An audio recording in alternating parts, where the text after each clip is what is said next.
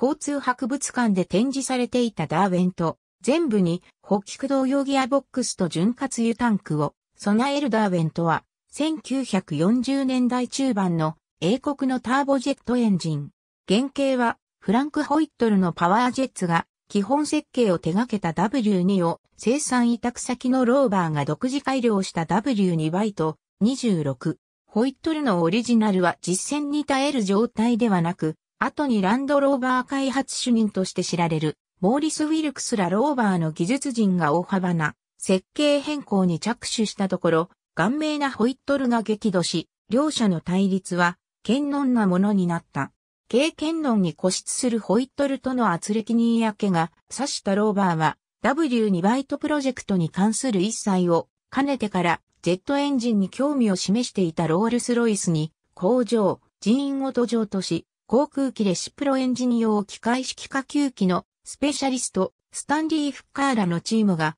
W2 バイトの開発を引き継いだが、何かと介入したがるホイットルには相変わらず手を焼いたと言われている。先に、ローバーで開発の進んでいた W2 バイト23をウェランドの名で量産化し、A 発のジェット戦闘機グロスターミーティア海1を進む空させたロールスロイスは、続いてローバーとホイットルの反目の直接原因になった解説系型 W2 バイト26案の実用化に着手した。これが後にダーウェントと呼ばれるものになる。この W2 バイト26は一足先に実用化段階に達していたハルフォード H1 と同様に全長短縮のためウェランドまで用いられてきた反転式燃焼機を廃止、粉流を迂回させず、タービンに直接当てる標準的な方式に改め、蒸発管式4年装置からルーカスインダストリーズの燃料直噴機に換装したもので、当該改良により、